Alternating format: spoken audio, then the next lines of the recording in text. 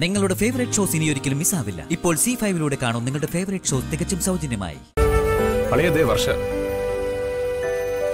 ശ്യാമിനെ കാണാത്തതിൽ ആകെ തളർന്നിരിക്കുകയാണ് പാവം.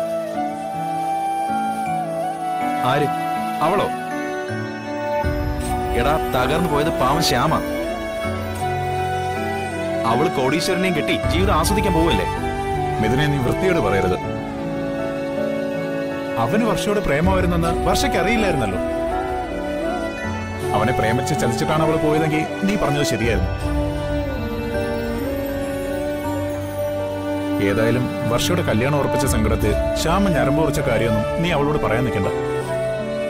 പാവം വർഷയ്ക്ക് അത് സഹിക്കാൻ പറ്റില്ല. അത് പറയണ്ടെന്ന് വെക്കാം.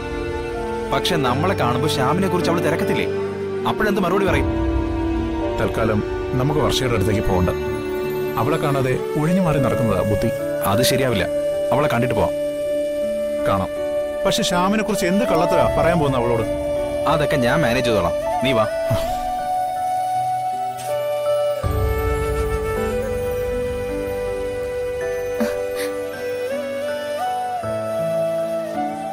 ശ്യാം എവിടെ? അവൻ വീട്ടിൽ പോയി. ഏ വീട്ടിൽ പോയെന്നോ? എന്നിട്ട് അവൻ എന്നെ വിളിച്ച് അറിയിച്ചില്ലല്ലോ? ഞങ്ങളോടും പറയാതെ പോയത്.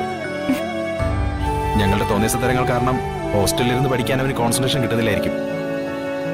അതാ ആശ വീട്ടിലേക്ക് വച്ച് പിടിച്ചത്. ഏതായാലും പരീക്ഷയ്ക്ക് മുന്നേ അവനിങ്ങെത്തും പരീക്ഷ മിസ്സാക്കില്ല അവൻ. വിളിച്ച ഫോൺ എടുക്കോ? അതുമില്ല.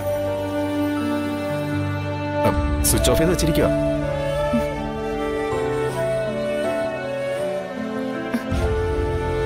നമ്മളൊക്കെ ഒറ്റക്കെട്ടായിരുന്നു. മനസ്സുകൊണ്ട് ഏറെ അടുത്തവർ. അതിന്റെ അഹങ്കാരം ഉണ്ടായിരുന്നു എനിക്ക്. പക്ഷെ ഇന്ന് നമ്മൾ കയ്യത്തും ദൂരത്തിലാണെങ്കിലും മാനസികമായി വളരെ ദൂരത്തിലാ. അല്ലേ? എന്താ നീ എങ്ങനെ പറഞ്ഞേ? എന്റെ കല്യാണം ഉറപ്പിച്ച അന്നു മുതൽ ഞാൻ നിങ്ങൾക്കൊക്കെ തികച്ചും അന്യായി. അതല്ലേ ശരി? ശ്യാമിന്റെ കാര്യങ്ങളൊക്കെ ബോധപൂർവം എന്നിൽ നിന്ന് മറച്ചു പിടിക്കുകയല്ലേ നിങ്ങൾ? ഈ വിവാഹം ഉറപ്പിക്കുന്നതിന് മുമ്പ് ഞാൻ ശ്യാമിന്റെ അനുവാദം ചോദിച്ചിരുന്നു. ഈ ബന്ധത്തിന് സമ്മതിക്കാൻ അവൻ അനുവാദം തന്നതിന് ശേഷമാ ഞാൻ സമ്മതം പറഞ്ഞത്. ആ എന്നോടാ ശ്യാമിപ്പോ ഇങ്ങനെ? എനിക്കറിയാം. ശ്യാം ഹോസ്റ്റലിൽ നിന്ന് പോയതും ഫോൺ സ്വിച്ച് ഓഫ് ചെയ്തതും ഒക്കെ എന്നോടുള്ള വെറുപ്പുണ്ട്.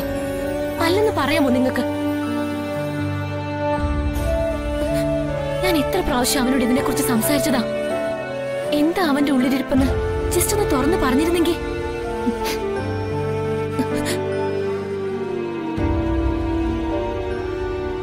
പറ്റുമെങ്കിൽ നിങ്ങൾ അവനോടൊന്ന് പറഞ്ഞേക്കണം. അവന്റെ ഈ ഒഴിവാക്കൽ എന്നെ വല്ലാതെ വേദനിപ്പിക്കുന്നുണ്ടെന്ന്.